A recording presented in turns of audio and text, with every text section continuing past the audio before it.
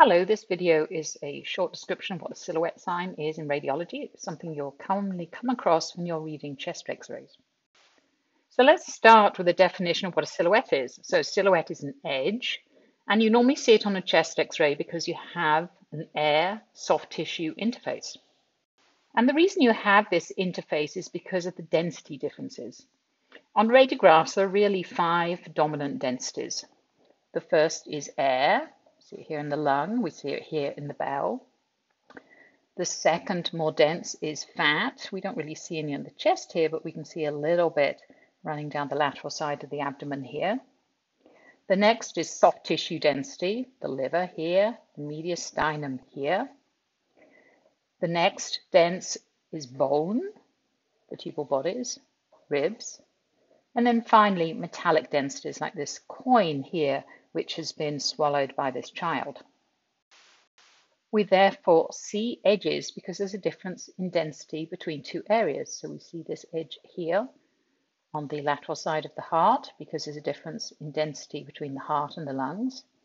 We see this edge here of the liver because there's a difference in density between the liver and the adjacent bowel. Or between here, metallic object, and the adjacent soft tissues, and we see the edges of a rib because there's a difference between the calcific density of the rib and the overlying soft tissue. Now with radiography, these density differences mean that we can easily see the difference between air and soft tissue or fluid. We can see the differences between calcium and bone and soft tissue, fluid and air. However, we may not be able to see the differences between soft tissue or fluid and fat, because those density differences are much less and radiography is less sensitive to density differences than CT. With CT, we're very sensitive to small differences in density, and depending on how we window the images, we can easily see the differences between fat and fluid and muscle, and even much more subtle density differences than that. So let's come back here to the term silhouettes. Where do we see silhouettes on a chest x-ray? Well, we see the silhouettes of both hemidiaphragms. We see those on both the frontal chest x-ray and the lateral chest x-ray. We see the silhouettes of the heart, the right heart border here, the left heart border here. We see of the right side of the mediastinum, so this is the ascending aorta there, for example. We see the aortic notch. We see the lateral side of the descending aorta. On the lateral chest x-ray, we see the posterior aspect of the heart, we see the anterior aspect of the heart and the anterior aspect of the ascending aorta. We can see the aorta, the posterior part of the posterior, and most of the anterior border of the aorta throughout. So these are normal air soft tissue interfaces or normal silhouettes that we should be able to see. Now let's look at four hypothetical situations. So the gray circles here are objects, and let's, for um, illustrative purposes, call this the mediastinum, and this an area of pneumonia within the lung. And the black stuff here is all A. So in this example here, let's call this number one, we can see the silhouette all the way around the pneumonia, and more importantly, we can see the silhouette all the way around the mediastinum because there is no interruption of that normal air soft tissue interface. Now, situation number two, the pneumonia is a little closer to the mediastinum, but it just about touches it, but we can still see that normal silhouette of the mediastinum because it still has air all the way around it. Let's look at example number three. Now, in example number three, the pneumonia is behind the mediastinum. So it doesn't touch the mediastinum, but it's, um, it's behind the mediastinum. So we can still see that normal silhouette of the mediastinum because there's still air up against it. We can see the edge of the pneumonia at the back because it still has air up against it. And then there's this area in between that looks denser, so-called double density, because the X-rays are having to travel through two substances of additive density. Now, in example number four, that pneumonia here is right up against the mediastinum, and there is no air between the pneumonia and the mediastinum. So you no longer have a silhouette, and this is the silhouette sign. So the silhouette sign is the loss of the normal air soft tissue interface when the air has been replaced by something that is of soft tissue density. It's not specific for what that is. It could be pus in pneumonia, it could be blood, an area of hemorrhage, it could be a mass for tumor, or it could be pleural fluid. I always think it's kind of a misnomer, to be honest, and it probably should be called lack of normal silhouette sign because you're taking away the normal silhouette. Now, where we see that silhouette sign can help us identify what lobe the abnormality is in.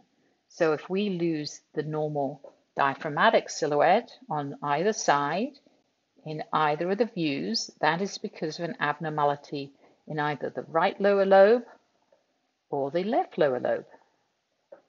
If we lose the right heart border, that is because of something going on in the right middle lobe. The left heart border, because of something going on in the left upper lobe.